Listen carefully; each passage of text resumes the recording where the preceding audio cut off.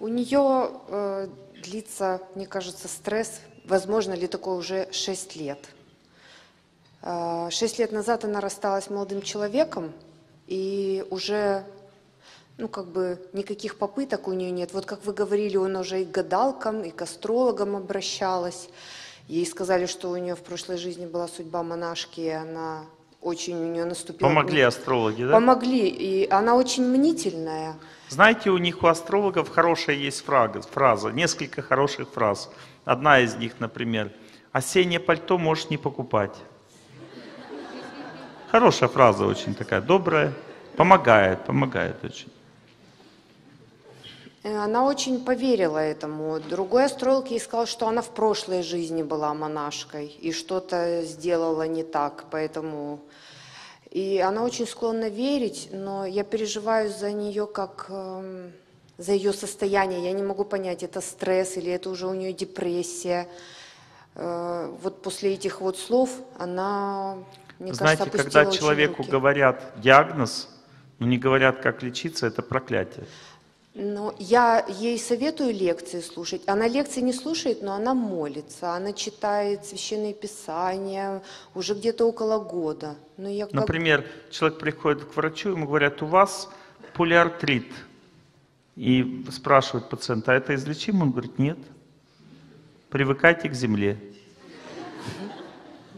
Замечательно очень. Замечательная роль такого врача – рушить жизнь людей.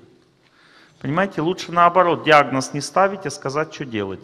Во-первых, человек чувствует себя лучше, потому что он не боится ничего.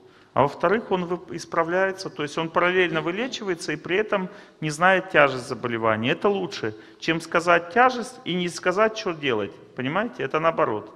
Вот астрологи поступают так же. Они говорят тяжесть, но не говорят рецептов. Это означает, они просто обрекают человека.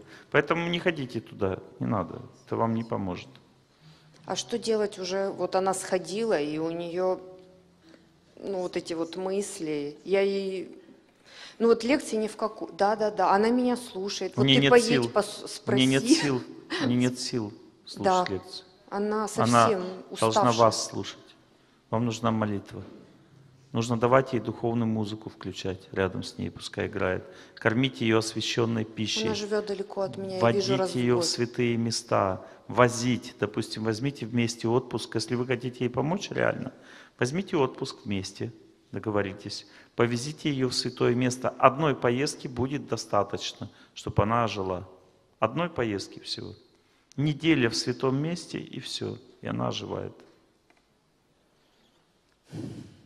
Это и- единственное. То есть все, что она вот молится, ей нужно только помощь. Она может неправильно молиться. Понимаете, если человек молится, а сам думает о своей Да. судьбе, а не о Боге в это время, молитва не Мне работает. кажется, что... Я вам рассказывал, как молитва работает. Надо от себя отвлечься и думать о святости. Лучше, чтобы, если кто-то рядом молился, чтобы сильнее получилось.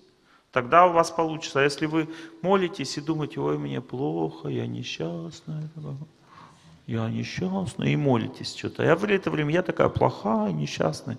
Это не молитва, это пустая трата времени. Если у вас своя картинка крутится внутри, а вы в это время повторяете молитву, значит молитва не работает. Она работает только тогда, когда вы или через звук, или через свою память помните о Боге, а не себе. Лучше через звук, потому что память очень слабая у нас духовная. У нас нет сил.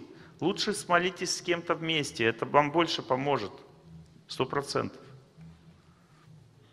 Она не прислушивается к моей... Ну, Вместе с ней молитесь, садитесь рядом. она не со мной живет далеко очень от меня.